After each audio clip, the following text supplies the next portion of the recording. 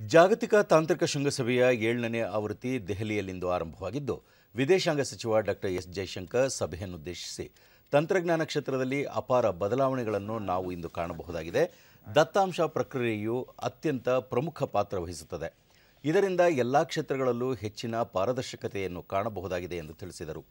ಕೋವಿಡೋತ್ತರದಲ್ಲಿ ಭಾರತವು ಆಮೂಲಾಗ್ರ ಬದಲಾವಣೆಗೆ ಸಾಕ್ಷಿಯಾಗಿದ್ದು, ಆರ್ಥಿಕ, ಸಾಮಾಜಿಕವಾಗಿ ಸದೃಢತೆ ಹೊಂದಿದೆ.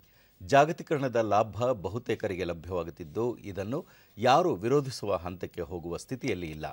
ಜಾಗತೀಕರಣದಿಂದ ಉಂಟಾದ ಪರಿಣಾಮಗಳು ಭಾರತದಂತಹ ದೇಶಗಳಿಗೆ ವರದಾನವಾಗಿ ಪರಿಣಮಿಸಿವೆ ಎಂದರು. ಸೆಮಿಕಂಡಕ್ಟರ್, ಐದು ಜಿ, ಬಾಹ್ಯಾಕಾಶ ಸೇರಿದಂತೆ ವಿವಿಧ ಕ್ಷೇತ್ರಗಳಲ್ಲಿ ವಿಪುಲ ಅವಕಾಶಗಳಿವೆ. ಇವುಗಳ ಲಾಭ ಪಡೆಯಲು ಕೇಂದ್ರ ಸರ್ಕಾರವು ಹಲವು ಯೋಜನೆಗಳನ್ನು ಈಗಾಗಲೇ ರೂಪಿಸಿದೆ ಎಂದು ಮಾಹಿತಿ ನೀಡಿದರು.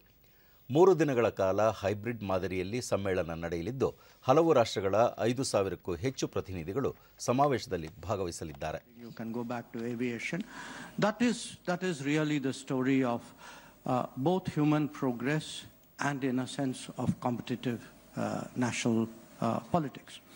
And it has led to uh, a number of policy outcomes. You know, countries have uh, fashioned their national security decisions.